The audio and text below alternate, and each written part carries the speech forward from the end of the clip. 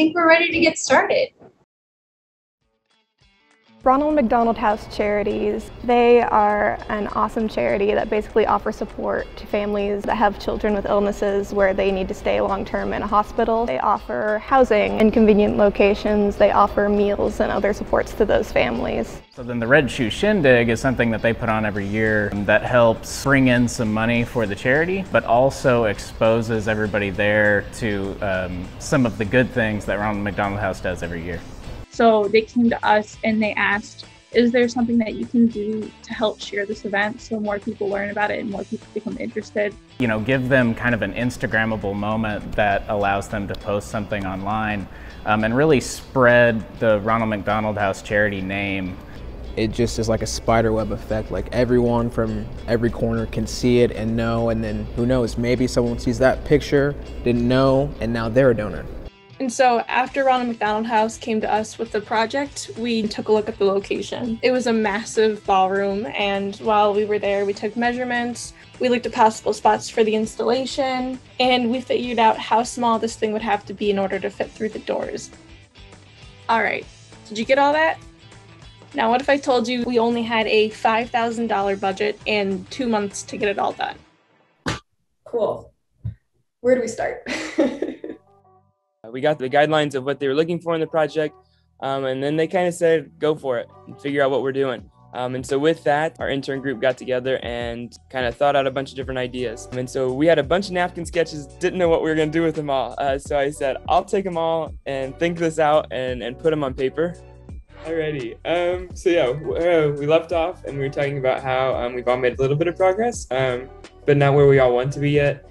Uh, but I'm going to go ahead and share the slides and just kind of show what we're um, kind of looking for. And I focused a lot too on their branding and making sure that we are still following their branding guidelines. I mean, all of us interns were all in five different areas, so we all don't think the same because we're not all in the same areas. That opens up a lot of ideas. My favorite part of this project is actually just the process itself. I really loved going through that with all the other interns. I really enjoyed the fact that as interns we were trusted with so much of the design concept. The design in and of itself is all brought from beginning to end, like almost 100% interns. You know, you hear, oh, $5,000 budget, five interns are working on this. You don't really know what to expect, but the client's expectations were exceeded the second that we showed them our first design. We'd love to, to open the conversation. That was all. I want to do them all. God, these are awesome.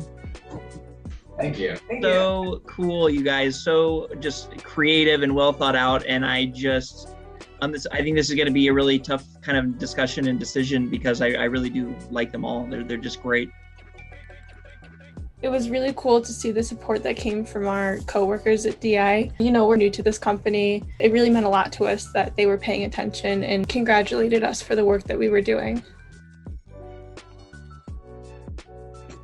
Well, that was easy. With a heart, we just kind of leaned into that idea early on, and that's what they picked. Because, you know, we can just go down a rabbit hole of multiple ideas, but at some point, we have to come back to reality and pick one or three. right.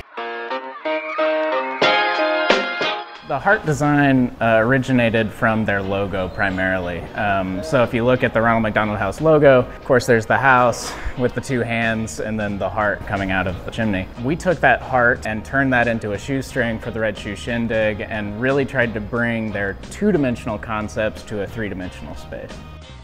They really want us to focus on the roots and the meaning behind Ronald McDonald House and what it really stands for. But um, yeah, just the way it looks, kind of the depth that it brings, it's it just aesthetically is pleasing. Um, the biggest hurdle uh, for this project, um, I think the budget. It's way over budget, way over budget. Holy cow. Doing something that looks extravagant on a small budget. What hoops you have to jump through, how many people you have to talk to to get something done. These meetings, because we were going back and forth and we were kind of getting almost opposing answers it seemed, but I'm not going to go into that final design presentation and say actually we switched everything from two weeks ago because we don't have enough money. It was kind of up in the air how we were going to construct this thing. The idea was great, but how do we build it and what materials would work structurally while keeping the budget low? I actually got to go in and design these specific materials and put them on the object so people could see how is that going to look. That helped a lot actually because it instantly narrowed down our ideas of materials. Right now, I'm working on a lot of renderings with the project, so that's always fun to kind of make a picture of that final product. And so really hammering down what those details are. How do we actually make it? Um, finding the materials.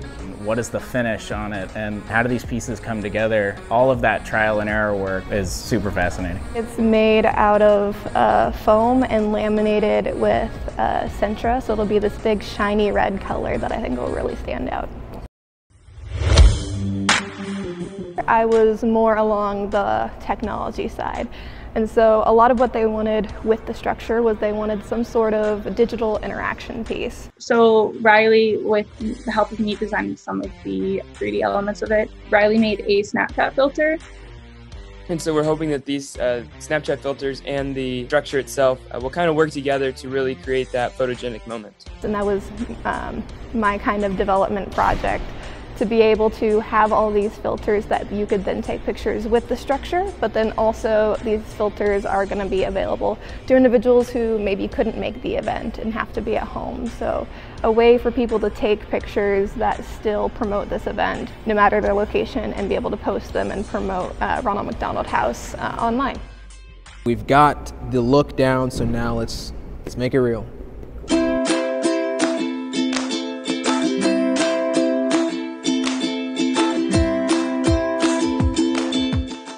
We did it. there was a lot about the project that we weren't sure could happen. Uh, this large freestanding heart, um, how does that support itself? What is it made of? What do those joints look like? Um, so I did a lot of uh, trial and error research and hands-on uh, construction to kind of bring some of those details to life. Since it's so like non-organic, that's a real challenge of how do we actually make this. The one single curve and base, it's just too big. It's like 10 feet, so it's gotta be split up in a couple sections. Now I'm really getting some work done with fabrication, splitting it in the correct areas, trying to put the hardware in and getting it ready for the shop to manufacture. A structure this big is never really found at like a short-term event like this, and so just that impact, I hope, um, will leave kind of an imprint for people. It's like eye candy. You see it, you just, like a magnet, you're just drawn to it. We want to get people excited about this event. We want to get people excited about the specific thing we created. You know, when, when someone takes a picture with it, they can look back on that event and it gives them, you know, something to remember about the night. We want to get people hyped up for next year. But then on the heart, uh, they have their slogan for the event says "Forever Tied Together," um, and so when they when they hear that "Forever Tied Together," they see the big heart, and we're hoping that they really step back and think about, um, you know, why is this event happening? What are we doing this? Uh, who are we doing this for? And people will kind of see that structure um, in relation to the brand of Ronald McDonald House, even if it was just a temporary event for one year even if each person that posted just gets one other person to donate uh, to the organization or um, go and, and, volunteer somehow with a nonprofit, it's going to make Ronald McDonald House stronger and it's going to make the Kansas City community stronger too.